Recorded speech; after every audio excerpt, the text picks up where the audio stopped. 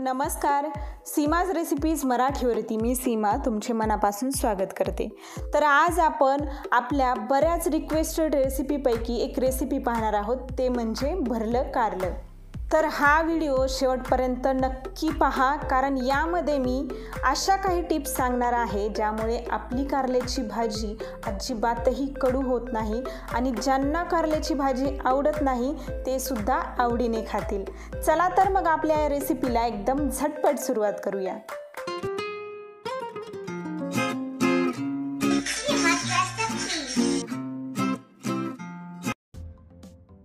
सुरुवातीला मी इथे साहित्यामध्ये अर्धा किलो कारली धुवून घेतलेले आहेत. तर आता आपण हे कारले कापून घेऊया.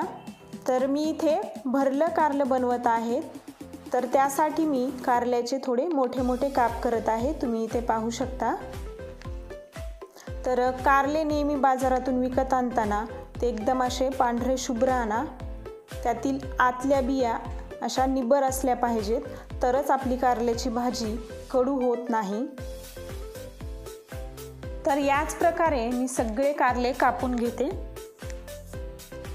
कारल्याचं प्रमाण तुम्ही कमी जास्त करू शकता.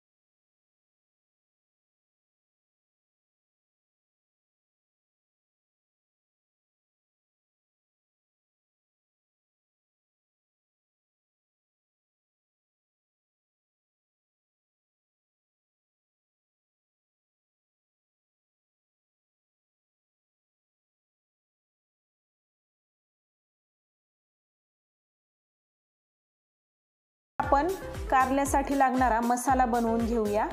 इथे मी चार चमचे शेंगदाण्याचं पीठ घेते. शेंगदाणे भाजून मी त्याचं पीठ करून घेतलेलं आहे. आणि त्यामध्ये मी चार चमचे काळं तिखट घालते. तुम्ही इथे कोणताही तुमचा ठेवणीतला मसाला वापरू शकता किंवा मग लाल तिखटही वापरू शकता. पण लाल तिखटासोबत तुम्ही गरम मसाला वापरा त्यामुळे छान चव येते. आता यात मी पाव चमचा हळद आणि अगदी पाव चमचा लसूण मी ठेचून घेतला होता ते घालते. आणि पाव चमचा मीठ. मीठ आपण वरतून पण घालणार आहोत. त्यामुळे मसाल्यामध्ये मी खूप कमी प्रमाणात मीठ वापरलं आहे. हे सगळं मी मिक्स करून घेते. आणि तिखटाचं प्रमाण तुम्ही कमी जास्त करू शकता. आता यात थोडं थोडं पाणी घालून मसाला आपल्याला ओलसर करून घ्यायचा आहे. असं पाण्यामध्ये मसाला मिक्स केल्यामुळे तो कारल्यापासून वेगळा होत नाही आणि छान आतपर्यंत मुरला जातो. खूप जास्त मसाल्यामध्ये पाणी पण घालू नका. आपला मसाला बनवून तयार आहे. इकडे कारले आता मी स्वच्छ पाण्याने धुवून घेते. अगोदर मीठ टाकलं होतं आता मी त्यात फक्त पाणी घालून ते धुवून घेते. आपल्याला अशा पद्धतीने दोन ते तीन वेळा स्वच्छ पाण्याने ही कारली धुवून घ्यायची आहेत. यामुळे त्याचा कडवटपणा कमी होतो. हे पहा कारल्यातलं पूर्ण आपल्याला पाणी काढून घ्यायचं आहे आणि आपला बनवलेला मसाला आता आपल्याला आपल्या कारल्यामध्ये भरून घ्यायचा आहे. तर मी इथे हातानेच हा मसाला भरते. तुम्ही चमच्याच्या साह्याने सुद्धा भरू शकता. तर कारल्यामध्ये बसल एवढा आपल्याला मसाला छान भरून घ्यायचा आहे. तरच त्याला चव छान येते. आता याच पद्धतीने मी सगळ्या कारल्यामध्ये हा मसाला भरून घेतलेला आहे. आणि उरलेला मसाला आपण नंतर भाजीत घालणार आहोत.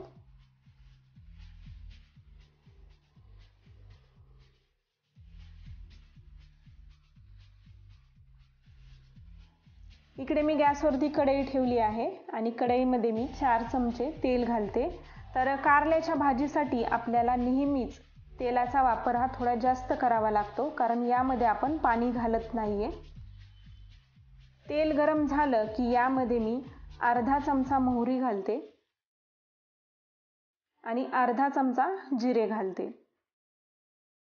हे छान तडतडलं की आपण यामध्ये आपण जे कारले भरून ठेवले आहेत ते घालणार आहोत.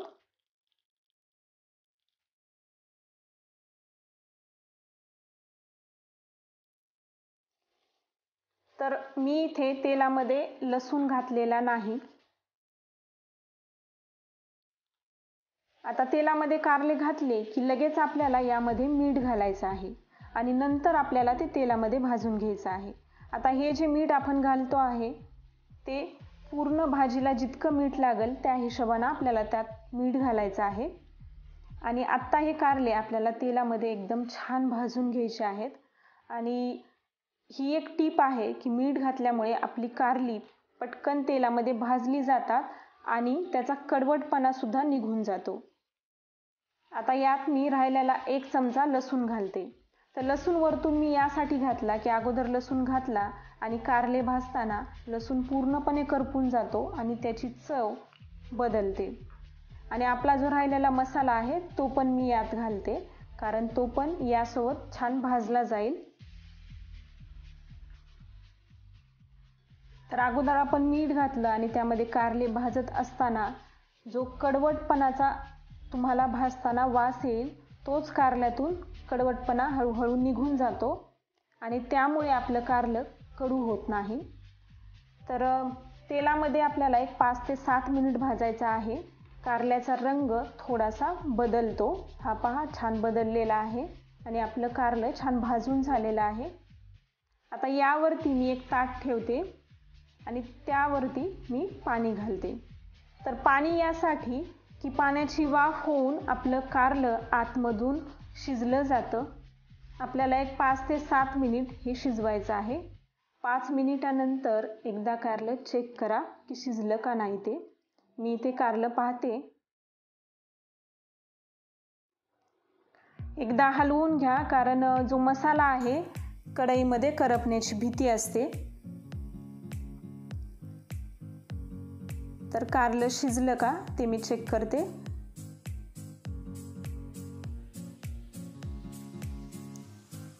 तर कारलं अजूनही शिजलेलं नाही. अजून एक मी दोन मिनिट यावरती ताट झाकून ठेवते.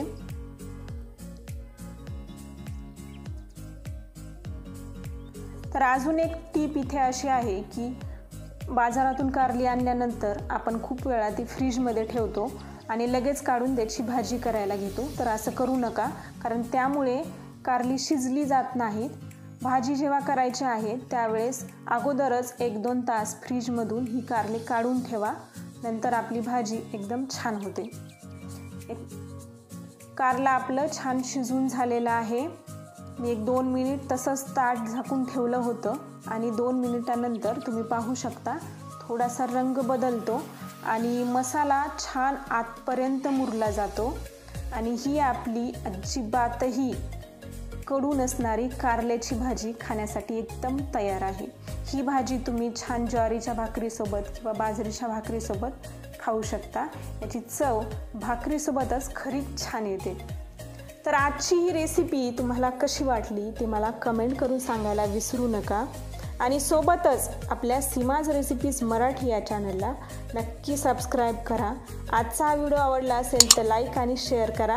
आणि हो माझ्या पद्धतीने ही कारल्याची भाजी एकदा नक्की बनवून बघा. चला तर मग नवीन व्हिडिओत नवीन रेसिपीसोबत भेटूया. धन्यवाद.